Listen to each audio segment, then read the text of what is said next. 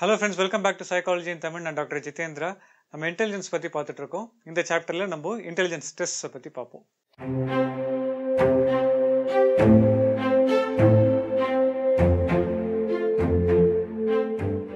So intelligence டெஸ்ட்ஸ்னால் என்ன?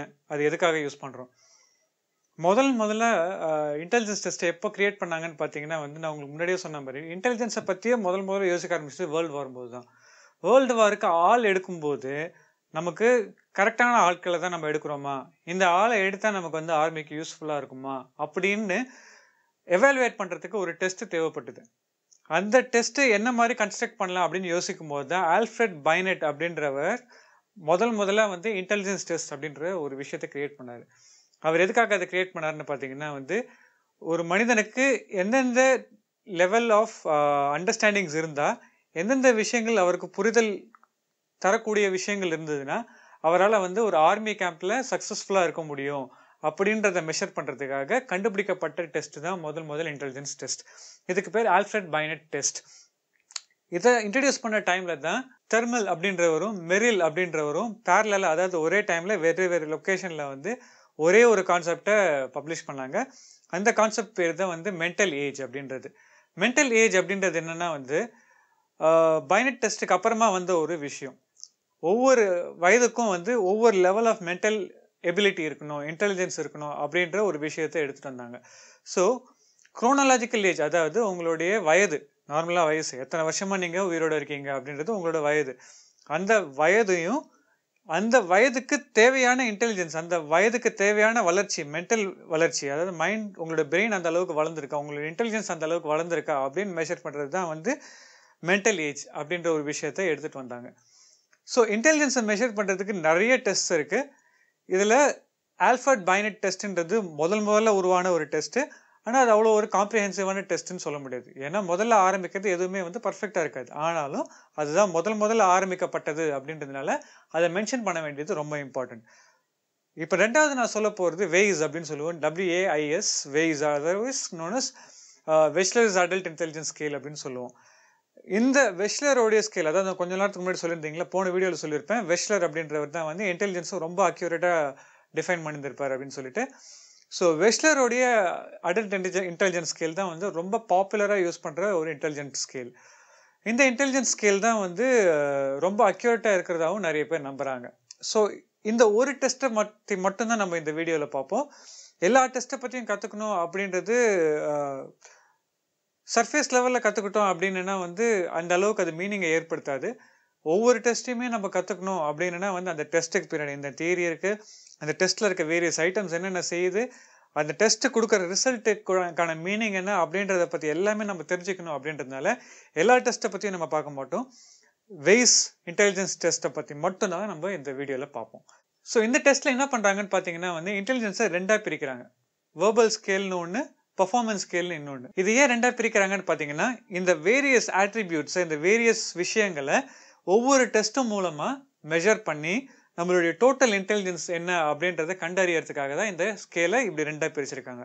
So வேர்பல்னு சொல்லக்கூடிய வேரியபிளுக்கு கீழே என்னென்ன வருது அப்படின்னு பார்த்தீங்கன்னா வந்து ஒகேபுலரி முன்னாடி சொன்ன மாதிரி வேர்ட்ஸ் எந்த அளவுக்கு ஒருத்தருக்கு வேர்டுக்கு ஃப்ளூயன்சி இருக்குது எந்த அளவுக்கு ஒருவரால் வந்து வேர்ட்ஸை மீனிங்ஃபுல்லாக யூஸ் பண்ண முடியுது இதுதான் ஒகேபுலரி ஸோ இந்த ஒரு விஷயத்தில் பார்த்தீங்கன்னா ஒரு வெய்ஸ் டெஸ்ட்டை வந்து அதாவது இங்கிலீஷில் கிரியேட் பண்ண ஒரு டெஸ்ட்டை வந்து ஒரு தமிழருக்கு அட்மினிஸ்டர் பண்ணும்போது அவரால் கரெக்டாக ஸ்கோர் பண்ண முடியாது. எதனாலன்னு பார்த்தீங்கன்னா அது வேற இது வேற. கரெக்டாக இந்த மொழியை புரிஞ்சுக்கிட்டு தான் வந்து இந்த மொழிக்கு ஏற்ற மாதிரி இந்த கல்ச்சருக்கு ஏற்ற மாதிரி ஸ்டாண்டர்டைஸ் பண்ண ஒரு தமிழ் டெஸ்ட்டை மட்டும்தான் நம்மளால அட்மினிஸ்டர் பண்ண முடியும். ஸோ சைக்காலஜிக்கல் டெஸ்ட்டில் எல்லாமே இந்த ஒரு முக்கியமான இன்ஃபர்மேஷனை நீங்கள் மைண்டில் வச்சுக்கோங்க. நம்மளுடைய ஊருக்கு ஏற்ற மாதிரி அந்த டெஸ்ட்டை மாற்றிக்கிட்டு தான் நம்ம அந்த டெஸ்ட்டை யூஸ் பண்ணுறது மூலமாக தான் அந்த டெஸ்ட்டை அது உண்மையான விதத்தில் நம்ம கண்டக்ட் பண்ண முடியும். இல்லாட்டா அந்த டெஸ்ட்டோட ரிசல்ட் வந்து அந்த அளவுக்கு அக்யூரேட்டாக இருக்காது.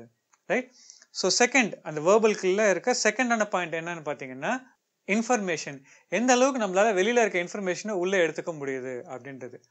தேர்ட் பாயிண்ட் என்னன்னு பார்த்தீங்கன்னா வந்து காம்ப்ரிஹென்ஷன் காம்ப்ரிஹென்ஷன்னா என்ன?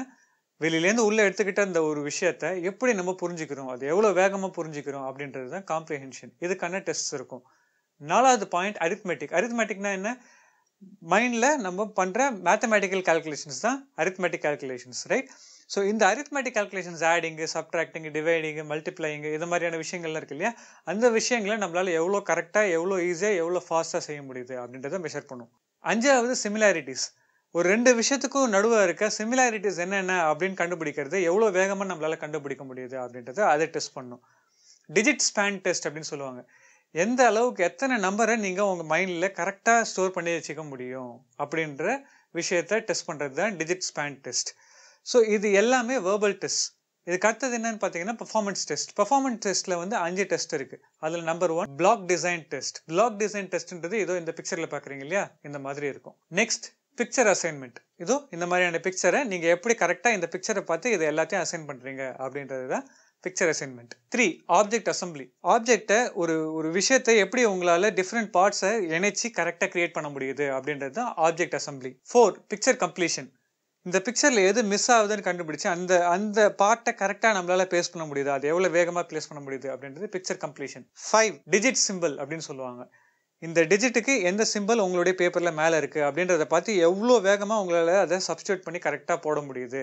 இது எதனா டெஸ்ட் பண்ணணும்னு பார்த்தீங்கன்னா உங்களுடைய அப்ட்ராக்ட் மென்டல் இன்டெலிஜென்ஸை பற்றி டெஸ்ட் பண்ணும் ரைட் ஸோ இந்த வெவ்வேறு விஷயங்கள் தான் வந்து வெய்ஸ் அப்படின்ற வெஸ்லர்ஸ் அடல்ட் இன்டெலிஜென்ஸ் ஸ்கேலில் இருக்க கிளாசிஃபிகேஷன்ஸ் ரைட் ஸோ இந்த கிளாசிஃபிகேஷன்ஸை வச்சு இந்த டிஃப்ரெண்ட் டெஸ்ட்டை வச்சு தான் நம்மளுடைய இன்டெலிஜென்ஸை மெஷர் பண்ணுறாங்க ரைட் இப்படி மெஷர் பண்ணுற இந்த இன்டெலிஜென்ஸ் எதற்காக யூஸ் ஆகுது அப்படின்னு பார்க்கணும் இப்போ. இதில் நீங்கள் முதல்ல ரொம்ப முக்கியமாக புரிஞ்சிக்க வேண்டிய விஷயம் என்னன்னு பார்த்தீங்கன்னா இன்டெலிஜென்ஸ் அப்படின்றது more of the time is a test to understand abnormality then normality அப்படின்னு சொல்லலாம். அதாவது ஒருத்தர் அப்நார்மலாக இருக்காரா அவருக்கு வயதுக்கு தேவையான வளர்ச்சி அவருக்கு இல்லையா அப்படின்றத கண்டுபிடிக்கிறதுக்கு தான் intelligence test most of the time கரெக்டாக இருக்கும்.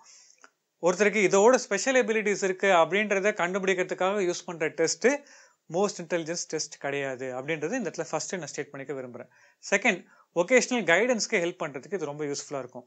ஒருத்தருக்கு எந்த இந்த டிஃப்ரெண்ட் டெஸ்ட் சொன்னேன் இல்லைங்களா? இதில் அவர் எதில் நல்லா பெர்ஃபார்ம் பண்ணுறாருன்னு பார்த்து எந்த டைப் ஆஃப் ப்ரொஃபஷன் அவர் சூஸ் பண்ணாருன்னா அவரோட வாழ்க்கையில் வெற்றிகரமாக இருக்க முடியும் அப்படின்றத சொல்கிறதுக்காகவும் அதுக்கு ஹெல்ப் பண்ணுறதுக்காகவும் இன்டெலிஜென்ஸ் டெஸ்ட் ரொம்ப யூஸ்ஃபுல்லாக இருக்கும். இப்போ லேர்னிங் டிசபிலிட்டிஸை அண்டர்ஸ்டாண்ட் பண்ணிக்கிறதுக்கும் இன்டெலிஜென்ஸ் டெஸ்ட் ரொம்ப யூஸ்ஃபுல்லாக இருக்கும். இப்போ பார்த்தீங்கன்னா சில குழந்தைங்களால படிக்க முடியாது எழுத முடியாது. அவங்களுக்கு போர் அடிக்கிறதுனால படிக்க முடியாமல் எழுத முடியாமல் இருக்காங்களா? இல்லாட்டா அவங்களோட இன்டெலிஜென்ஸ் லெவலே கம்மியாக இருக்கா? அப்படின்றத புரிஞ்சுக்கிறதுக்கு இன்டெலிஜென்ஸ் டெஸ்ட் யூஸ்ஃபுல்லாக இருக்கும். ரைட் நாலாவது பாயிண்ட்டு நான் முன்னாடியே சொன்ன மாதிரி அப்னார்மாலிட்டியை அண்டர்ஸ்டாண்ட் பண்ணிக்கிறதுக்கு இன்டெலிஜென்ஸ் டெஸ்ட் ரொம்ப யூஸ்ஃபுல்லாக இருக்கும். ஒரு கிளினிக்கல் செட்டப்பில் ஒரு ஹாஸ்பிட்டலில் ஒரு கிளினிக்கல் சைக்காலஜிஸ்ட் ஒருத்தருக்கு எந்த அப்னார்மாலிட்டி இருக்குது இன்டெலிஜென்ஸ் வகையில் பார்க்கும்போது அப்படின்றத அண்டர்ஸ்டாண்ட் பண்ணிக்கிறதுக்கு இன்டெலிஜென்ஸ் டெஸ்ட் ரொம்ப யூஸ்ஃபுல்லாக இருக்கும். மோஸ்ட் ஆஃப் த டைம்ஸ் நம்ம எப்படி பண்ணுவோம்னு பார்த்தீங்கன்னா இந்த இன்டெலிஜென்ஸ் டெஸ்ட்டை வந்து mental age divided by chronological age அப்படின்றத அந்த ரேஷியோ வச்சு தான் வந்து நம்ம கண்டுபிடிப்போம். அதாவது யூஸ்வலாக இந்த லெவலில் இருக்கும்போது இவங்களுக்கு எந்த அளவுக்கு மென்டல் ஆப்டிடியூட் இருக்கணும் அந்த அளவுக்கு இருக்கா அதை விட கம்மியாக இருக்கா இல்லை அதை விட ஜாஸ்தியாக இருக்கா அப்படின்றத அண்டர்ஸ்டாண்ட் பண்ணிக்கிறதுக்கு தான் இந்த மோஸ்ட் ஆஃப் த இன்டெலிஜென்ஸ் ஸ்கேலை நம்ம யூஸ் பண்ணுவோம். ரைட் ஸோ இதோட இந்த வீடியோவை முடிச்சப்போ இந்த வீடியோ உங்களுக்கு யூஸ்ஃபுல்லாக இருந்திருக்கும்னு நம்புகிறேன் இந்த வீடியோவை பார்த்ததுக்கு நன்றி and have a great time